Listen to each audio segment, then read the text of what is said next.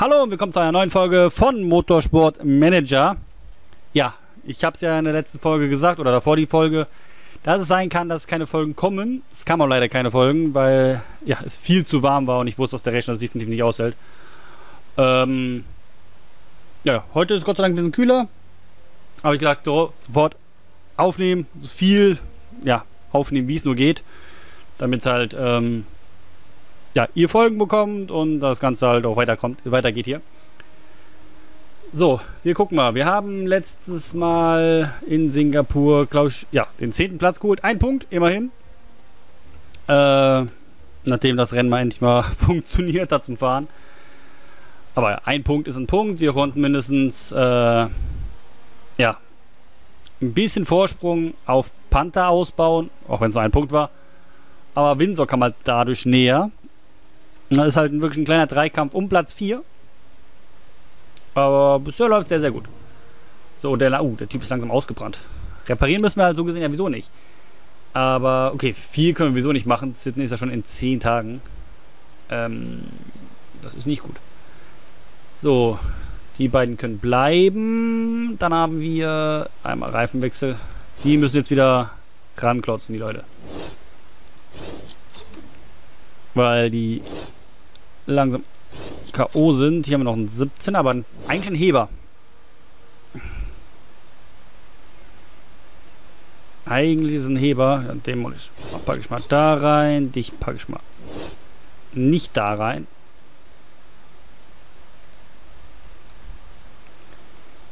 Ich.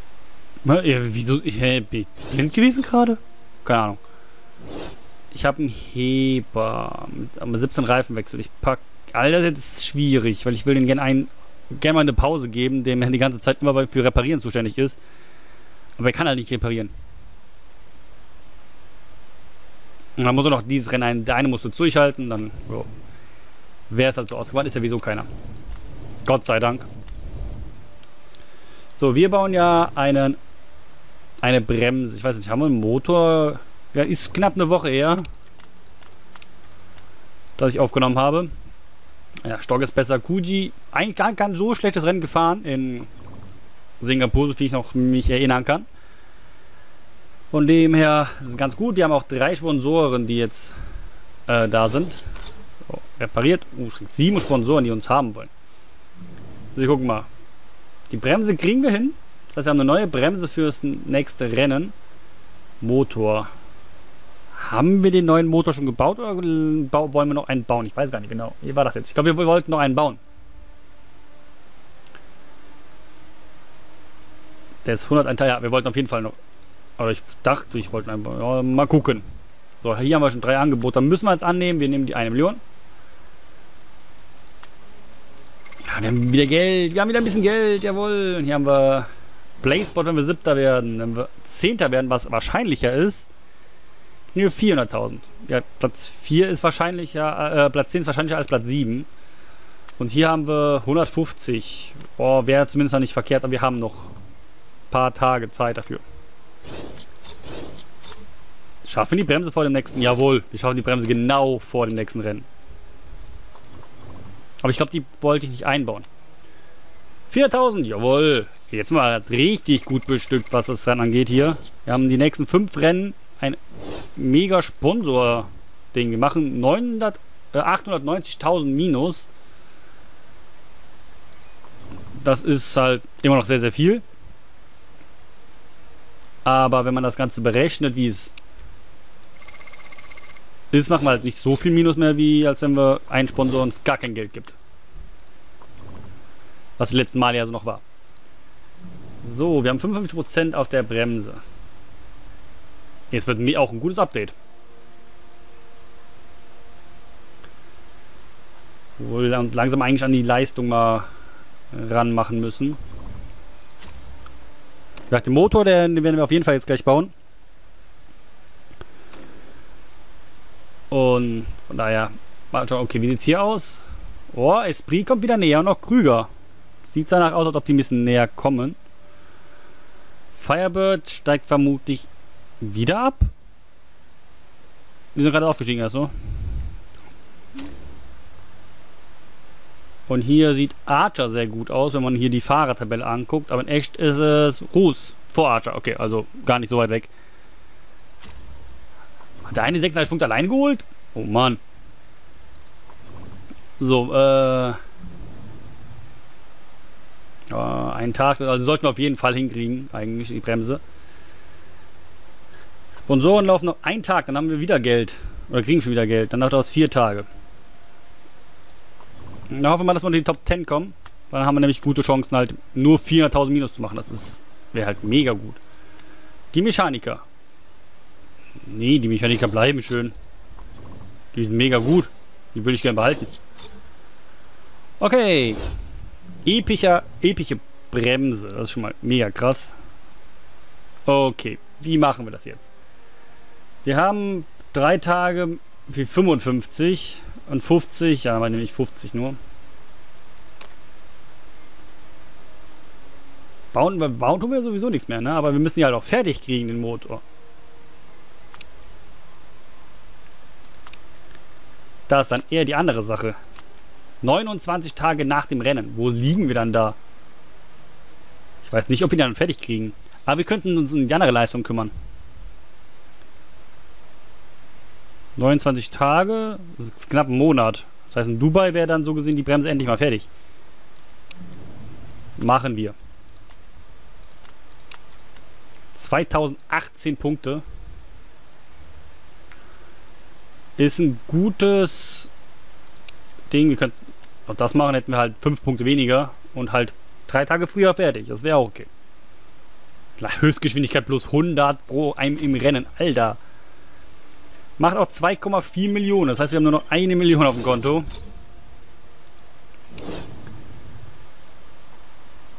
Ui, Bremse sieht auch knapp aus. Ja, wenn wir, wenn wir die Bremse haben, werden wir halt größtenteils nichts mehr ausbauen, also nichts mehr auf Zuverlässigkeit machen, sondern mehr auf die Leistung für nächste Saison. Na, hier die Aufhängung muss fertig gemacht werden. Ähm, Bremse, äh, Getriebe sind wir schon. Okay, müssen wir auch noch machen äh, Motor, dann der neue, wenn der endlich mal fertig wird. Dann haben wir noch die Bremse. Erstmal ein Auto, wird fertig gemacht. So, können wir die eine Bremse einbauen? Können wir. Also sehr gut. Bremsen-Update. Kuji fuhr immer noch mit der ersten Bremse rum. Eieiei. So, ja, wir gehen jetzt auf Leistung. Ich mache die Aufhängung fertig, dann haben wir das auch schon. Danach geht es auf Getriebe. Äh, Frontflügel haben wir auch schon, Motor haben wir auch schon, danach auf Bremse. Also auf äh, Getriebe und dann Dings. So sollten wir zumindest mal den stärksten Wagen haben, den wir momentan haben können. 500.000, äh, wir hätten dann zumindest mal etwas Ruhe, bevor wir dann ins Minus gehen, weil das werden wir wahrscheinlich Ende der Saison sowieso sein. Ich hoffe es nicht, aber es kann sein. Also abwarten.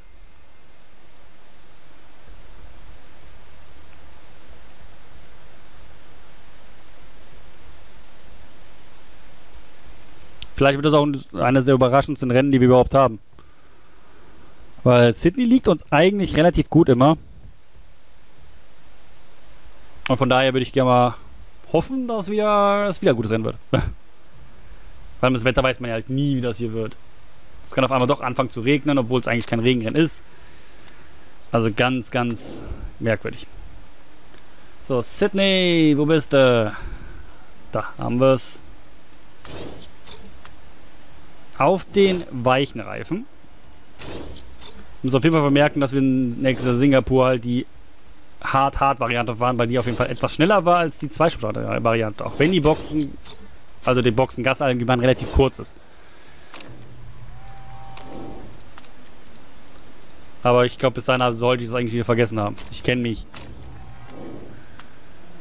Mann, jetzt müssen wir jeweils immer wieder 10 Sekunden in der Box stehen. Nur weil das Spiel wieder mal alles auf Rennquali drin umstellt. Hei, hei, hei. Ja, mal gucken. Wetter. Es kommt ein kleiner Regenschauer. Aber da können wir halt Trockenreifen doch weiterfahren. Aber es kann halt wieder entscheidend sein fürs Rennen.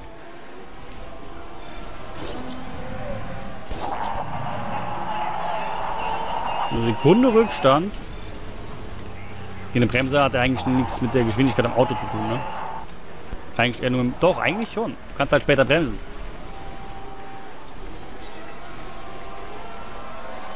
Dafür, dass wir soft fahren, sind wir sehr gut dran. Zumindest mit Stock. Oh, da kommt aber auch heftiger Regen auch. Uiuiui.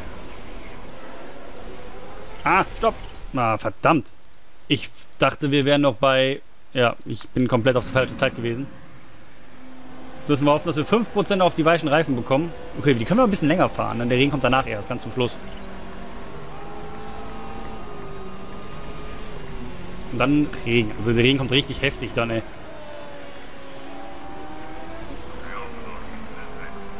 Aber jetzt geht es jetzt dran, das Setup auch richtig hinzupacken. Ist ein ganz gutes Setup. Muss man definitiv sagen. 94%, da geht aber noch mehr. Da geht noch mehr. Wir machen Frontflügel auf 19.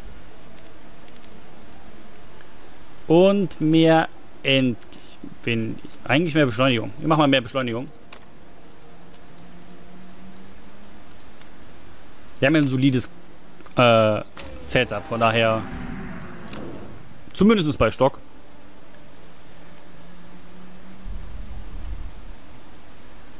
Okay, wir machen den Wagen. Oh, Geschwindigkeit ist immer perfekt. Wir machen den Wagen aber trotzdem etwas zwei Stufen weicher und gehen ein bisschen weniger auf Frontflügel. Dadurch passt das wieder.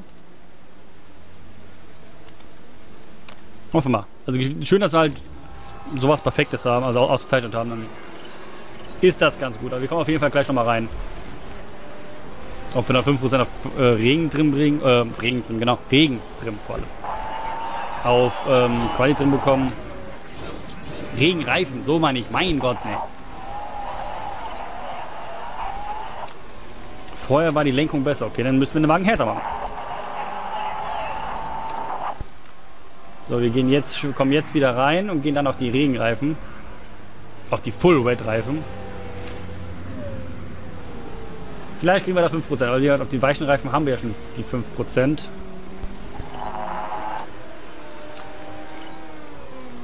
Okay, das Auto ist ganz gut eingestellt. Jetzt müssen wir die Aerodynamik nochmal anpassen. Die war da besser. Heißt, wir gehen hier auf 17,5.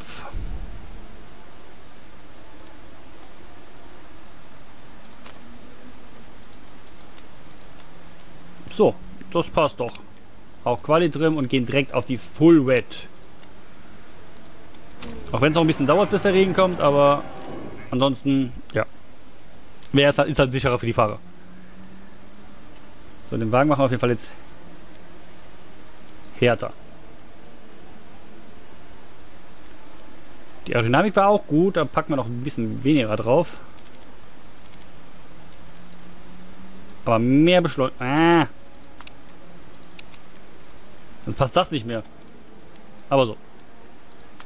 Guck mal, perfekt. 20 Sekunden stehen wir nur, kriegen dann 22 Sekunden stehen wir nur. Und dann. Ja, sieht halt komisch aus, wenn wir auf trockener Strecke noch mit dem Regenreifen fahren. Die sind halt jetzt extrem langsam, aber ab. Jetzt würde ich sagen, sind wir da. Ich bin auch gespannt, ob irgendjemand noch auf, Trocken, äh, auf Regenreifen rausfährt noch. Na, Intermediates gehen manche noch. Na, Becker ist auch noch auf Regenreifen. Aber wir schaffen es 5% auf Regenreifen und 15% Quali drin. Ist doch zumindest etwas. Ich wollte gerade reinrufen, aber egal. Fahrer wie immer letzter, aber nicht so weit weg. Nur zwei Zehntel.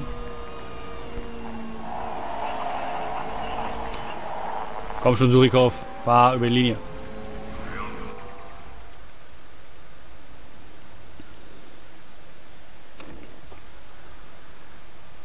Eine Sekunde Rückstand im Training mit den weichen Reifen. Also nicht super weichen Reifen, sondern den anderen. Okay, jetzt könnten wir ganz zum Schluss. Wir werden auf jeden Fall rausfahren auf Intermediates und am Ende nochmal auf den Trockenreifen. Ja, und hier werden es eher die Temperatur sein, die das besser macht. Also ich erwarte eigentlich dann fast schon, dass es ähm, auch im Rennen regnet. Wenn es jetzt, jetzt schon halt in beiden Sachen regnet. Man weiß aber, 100%. Ich habe noch nie ein 100% Setup gehabt. Noch nie. Speichern. Kann ich das alte Setup mal löschen jetzt? Wo ist das alte Setup? Das war ja ganz okay. Aber das neue ist ja halt mega gut. Hey.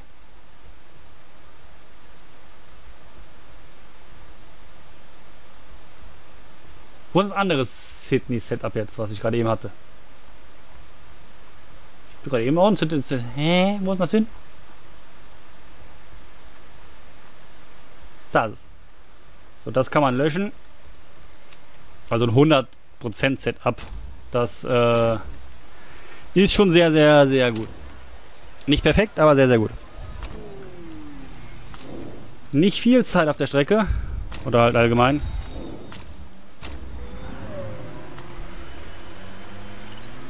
Müssen alle noch Reifen wechseln, bevor sie rausfahren. Das kostet die natürlich richtig Zeit. Und dadurch könnten wir am Ende richtig gut weiter vorne kommen. umso länger sie warten mit dem Rausfahren, umso unwahrscheinlicher ist es, dass sie es schaffen, eine zweite Runde zu fahren. Halt Top 10 sollte auf jeden Fall drin sein.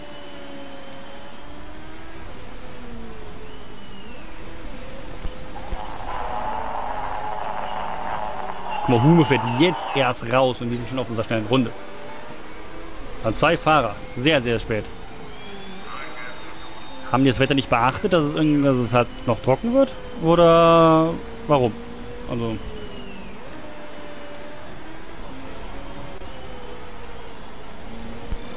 So, momentan sind wir erst da. Ein 26 Stunden ist gar nicht so langsam. Auch nicht so weit weg von der Führung.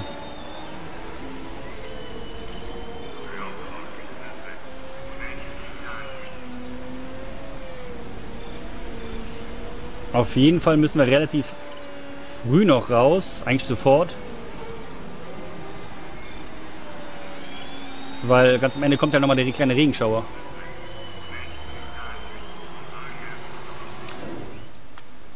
Deswegen fahren wir jetzt schon raus. Weil der, dieser Mini-Regenschauer, der am Ende noch kommt, der könnte am Ende... Äh, what? Da wollte ich sagen, wir sehen, sehen da gut aus, aber scheinbar sind wir doch so gefahren, dass es halt richtig schlecht war.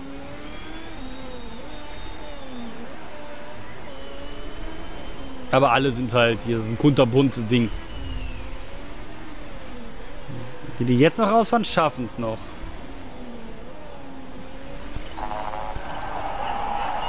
Ja, Platz 7 schafft es nicht mehr. Hamilton schafft es nicht mehr über Linie. Stock mit absoluter Bestzeit.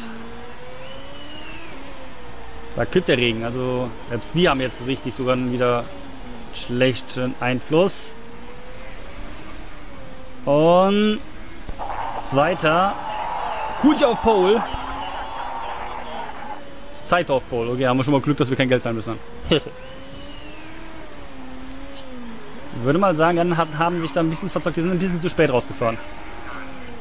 Das macht das Ganze darin richtig spannend. Beide Steinmann ganz hinten. Ein Rosini mitten im Feld, einer vorne und zwei Gitanos auch vorne. Beide Panthers ganz hinten. Für uns natürlich mega gut.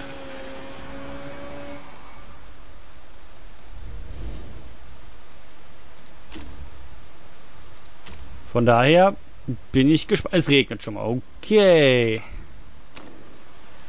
Heftig. Das ist ein Regenrennen. Müssen wir, ich glaube, wir müssen kurzzeitig Intermediates aufziehen, dann wieder auf Regenreifen wechseln. Und dann wieder auf Intermediates wechseln. Das wird ein sehr, sehr interessantes Rennen.